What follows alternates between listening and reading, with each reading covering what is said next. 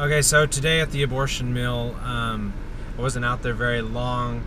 Um, one of the members of our abolitionist society, Greg Donnells, was out there preaching and pleading and out there all morning, um, just really holding it down by himself, calling out to people. And um, when I got there, um, he kind of told me about a family that had gone in. I, I pointed out this this big truck is a big fancy truck all souped up with all this. Uh, I mean, I wouldn't, even know what to call it. Fancy lights and grills and stuff. And and uh, he said, well, yeah, that was a that was a grandfather, a mother, and then the daughter, and then a boyfriend came in a separate car, and they all went in, and, and I preached at them, and none of them talked to me and all that kind of stuff. Well, while I was there, this uh, this older gentleman comes out, older, I mean not old, like 55 or something. Uh, but kind of like a hip looking guy, kind of look, you know, like Craig Groeschel looking guy, you know, kind of hip looking dude. He uh, comes out to smoke a cigarette, and uh, you know, we're calling out to him and saying, you know, you know, just you, if your daughter hasn't done it, you know, grandfather, you need to go back in there and save your child. There's a better way, all that kind of thing. And uh, you know, he smokes a cigarette for a while, and um, we start talking about sin and everything. Well, he comes over um, like he's been sitting and thinking and um, considering, not considering what we're saying, but you know, I can tell it's messing with him a little bit. So he like come, he walks over to us and he gets out his wallet and he shows me a card and he's like, "I'm a doctor." Now he didn't really show me the card long enough. I mean, it was kind of like a Doctor Who thing, like look and then put it away. Um, but he's like, "I'm a doctor, and my daughter um, has to be here because she's going to die. He says that, and uh, and I'm like, oh well, you know, I'm not a doctor, but I'm you know a historian of science, and I can kind of and I know some prenatal stuff, so I can kind of follow what you're going to say. So what is what's her uh, situation? What's going on with the baby? What's going on with the development or the pregnancy? And um, he said he.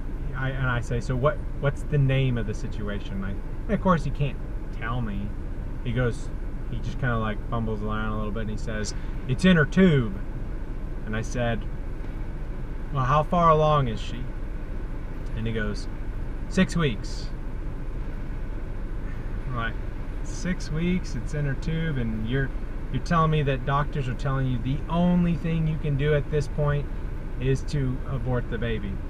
And he says, We've driven to Austin and to Temple, and they sent us here. Which I'm just sitting here trying to figure out if this guy's telling me the truth. I don't know who goes and gets an ultrasound or uh, something done to figure out what's going on at six weeks. You know, I mean, most people don't even have a clue that they're pregnant um, until like four weeks, but maybe two weeks if they're just being really curious. But uh, you know, it's it's one of these things like, okay, what's going on? And uh, so he's trying to, and, and so I start to tell him, you know, maybe something about um, you know, numerous cases of this have have come to full term, and why just kill the baby now and try to try to open up that conversation with him about whether or not abortion is actually the only viable option, or whether this baby, even if this baby is in the fallopian tube and there's a cyst or anything like that, if there's something else that can be done. And I want to tell him that there's there's plenty that can be done. But then his wife comes out and she sees that he's talking to us and she starts flipping out and cussing us out and yelling at him to, to keep him from talking to us. And I'm like, well, if they're there because they think it's a medically necessary abortion at six weeks, and he's telling me the truth, why is she so angry? Why is she flipping us off? Why does he look stunned like, oh crap? And then kind of go away from us. And then I just call him out. It's like, are you lying to me? What are you talking about? You know, if you're a doctor, you know, let's heal her, not kill her or kill her child and, and all this kind of stuff. They go, they sit in their car and they talk for a while, they smoke some cigarettes, and then they they get they get back their wits or something, and then they walk back in the whole time, Greg and I, saying, you know, there's another way. Now I make this video because I'm trying to think about this. I don't know whether there's any truth whatsoever to there being some kind of a problem. I do know that a problem at, at, at during the sixth week of development um, is not one wherein you can say for certain that the baby's going to die or the mother's going to die or anything like that. Greg, who saw her go in, she was young, she wasn't showing, um, you know, she didn't look unhealthy, uh, all that kind of stuff. I don't know. But here's the deal in the culture, when we're fighting abortion and uh, when pro-lifers are are trying to pass legislative acts and all this kind of stuff, and they are constantly saying, except for in the case of the mother, except for in the case of the life of the mother, except for in the case of the life of the mother, or except for in the case of rape or incest, rape and that sort of thing. What happens is, is the people who get pregnant and decide that they want to abort their babies go, I know what I'll tell those sidewalk counselors or those those abolitionists or those preachers or any Christians who talk to me about this. I'll say I had to do it because the life of the mother. And uh, even if it's not, if it's totally a lie, we are talking about people who, when being pregnant, would rather kill their baby than keep their baby. They're going to lie. Everything about that day when they when they ate their breakfast was a lie because they're pretending like things are normal, but they're killing their child. They're lying.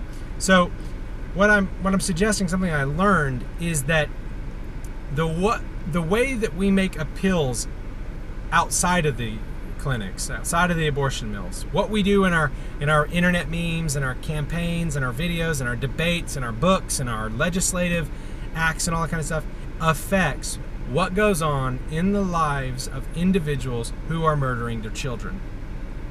And it does so because, in the case that this was true, that this young woman had some cysts, and this young woman's uh, child um, implanted higher up or in the fallopian tube somewhere, she is, has been told and grown up and heard from pro life advocates as well that abortion is not really good unless it saves you. She has not heard that many, if not most, pregnancies in her situation can be looked after and brought to term. That there is medical help that doesn't involve scraping the baby out so you can try again. The other thing that I'm thinking about is if you're having sex with someone you love, with someone you want to raise children with, and you find out that you're pregnant at six weeks, you're not rushing around trying to figure out whether or not, you know, I, have you know I've been through this. At six weeks, you're not rushing around trying to figure out whether or not the baby's in your fallopian tube or not. You're usually not even going to see an ultrasound until really, really 19, 18, 17, maybe, maybe earlier if you're just kind of worried about something. But you're not going to go get ultrasounds and studies done at six weeks. Now, if something is seriously, seriously wrong, and you go in and you do get a study done, and you check out your um, pregnancy and where it's where it all is taking place and everything, and you find out there's something problem. If you're with someone you love, that you've been having sex with, and you want to have children with, you're going to see that child in your womb as your child. And rather than go to an abortionist to have them scrape them into bits and remove them to maybe save your life or whatever, you're going to do everything you can to love them and protect them and heal them and help them. You're going to be reading books. You're going to be like watching how you walk and sleep and eat and all this kind of stuff because you love your baby and you don't want to abort them. So, these are things that I've learned. We need to stop saying life of the mother in our campaigns. People are seizing it and they're using it. Everyone tells us at the abortion mill that they had to do so because of rape and the life of the mother. They're lying. They're people who want to kill their children. And they're also being just totally evil people towards the people who actually were raped and the people who actually are facing serious medical situations. Those people don't usually kill their babies, and um, usually, if their babies die, they mourn their loss. things that I've thought about today from just being at the abortion mill.